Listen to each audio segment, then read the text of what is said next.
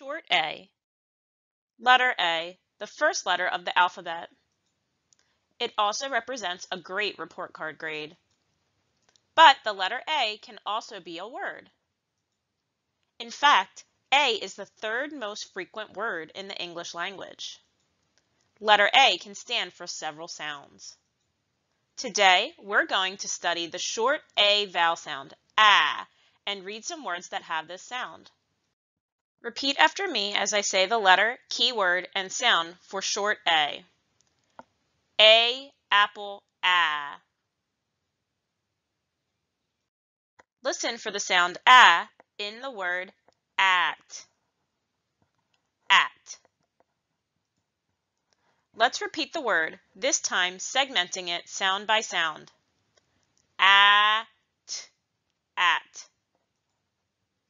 Notice that the a sound can come at the beginning of a word, such as in the words apple and at. Now, listen for the sound a in the word sat. Sat.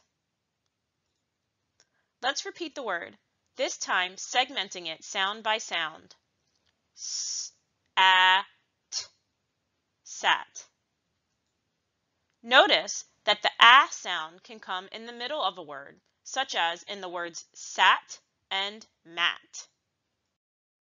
The word below is k, a, t, cat. The letters in cat have a consonant-vowel-consonant CVC pattern. In a consonant-vowel-consonant pattern, the vowel usually makes the short vowel sound. You may now go to the Try It section and then the Show What You Know section of the lesson. Closed syllables. We can look at the last letter in a syllable to determine the sound the vowel will make. A syllable that ends in a consonant is called a closed syllable and usually has a short vowel sound. Let's quickly review our short vowel sounds. A. The short vowel A says ah. A apple ah. The short E says eh. E ed eh. The short I says I. I inch I. The short O says ah. O octopus ah and the short U says uh. U up uh. Let's take a look at the word tennis. The word tennis has two syllables, ten-ness. I'm going to draw a line to separate these syllables. Both syllables are closed syllables because they end in consonants. This lets me know that the vowel sound in both syllables will be short. The letter E will say eh, and the letter I will say i. Ten-nis, tennis. Dividing syllables. You can break a word into syllables to make it easier to read. The first step is to look for familiar word parts, such as endings. Then spot the vowels. Let's practice with the word cabinet. When I look at the word cabinet, I notice that it does not have any ending or suffix. So now I will look for the vowel spots. This word has three vowel spots that we see and hear, so it has three syllables. The vowel spots that we see are the letters A, I, and E. I'm going to draw a line to separate each syllable. Cab, in, et. Is the vowel sound in the first syllable long or short? If you said short, you are correct. But how do we know that it should be a short vowel sound? We know that the A should make the short vowel sound because the first syllable, cab, is closed in by the consonant B. When the syllable is closed in with a consonant, the vowel sound is short. Is the vowel sound in the second syllable short or long? If you said short, you are correct. We know that the I makes the short vowel sound I because the second syllable is closed in with the consonant N.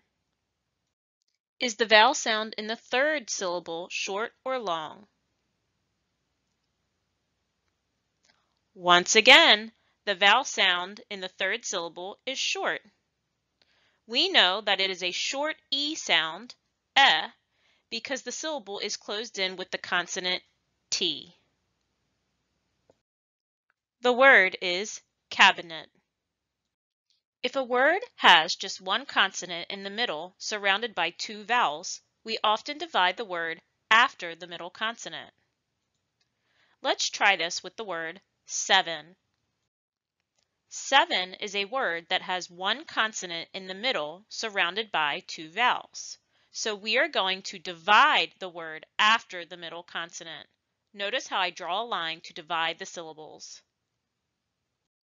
Once again, we know that both syllables are closed syllables because they are closed in by consonant letters V and N. This also lets us know that the vowel sound in both syllables should be short. So the E in the first syllable should say eh and the E in the second syllable should also say eh to make the word seven.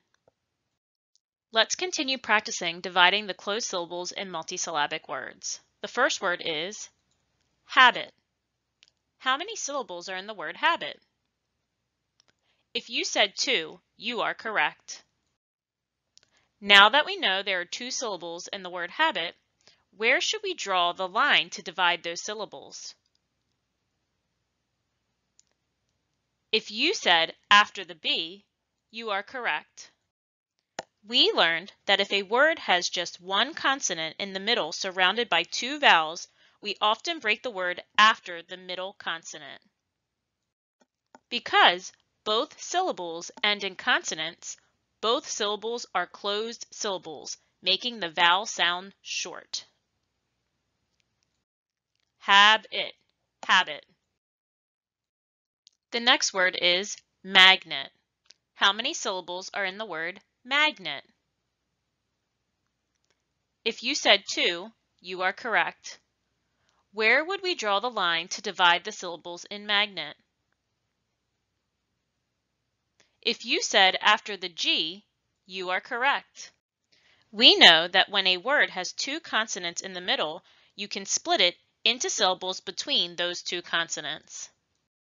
Once again, we know both syllables are closed because they are closed in by the consonant G and T, making the vowel sound short. Magnet, magnet. Soft C and G in closed syllables. Most consonants stand for just one sound, but C and G can stand for two different sounds. You've studied the letters C as in cat and G as in gas. But today we'll focus on other sounds that C and G can stand for. We will call these new sounds for these letters soft C and G. In the past, you have learned that the letter S stands for S and the letter J stands for J. In this lesson, you'll be working with new spellings for these sounds. In the past, you have learned that the letter C stands for K. but did you know that when the letter C is followed by an E, I, or Y, it stands for S, as in cell? Let's look at an example. Can. Can. The C is followed by the vowel A. Therefore, the C will make the K sound. Can. Now let's look at scent, scent. The C is followed by the vowel E. Therefore, the C will make the S sound, scent. In the past, you have learned that the letter G stands for G.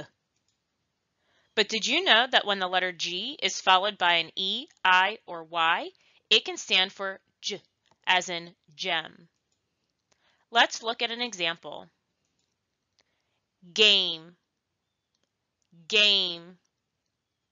The G is followed by the vowel A. Therefore, the G makes the G sound. Now look at gel. Gel. The G is followed by the vowel E. Therefore, the G makes the J sound. Gel. There are some exceptions where the letter G will not make the J sound, even if it is followed by an E, I, or Y. Because of this, when you get to a word that has a G followed by an E, I, or Y, try reading it both ways to see which pronunciation makes sense.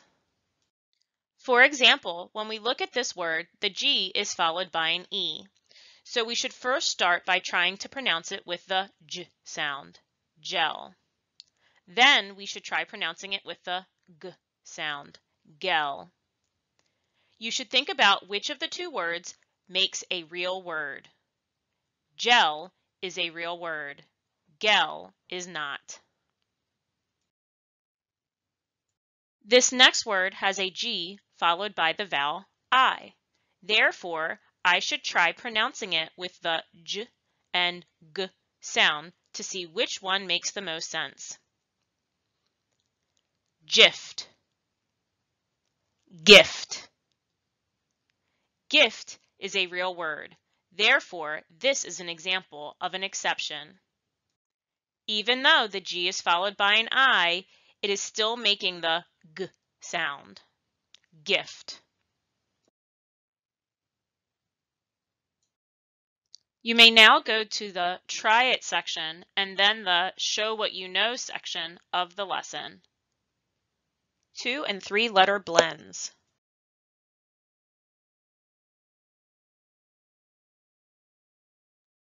Today, we will work with words that have two-letter consonant blends and three-letter consonant blends. When reading words, we have to blend the sounds in each word so we can produce the entire word. The word below is twin. Listen for the sounds the first two consonants stand for. These two sounds go together nicely to produce tw, such as in the words twin or twitch. The next word below is dress. Listen for the sounds the first two consonants stand for. D. Sometimes, when certain consonants are near each other, the overall sound changes when we quickly blend the sounds together.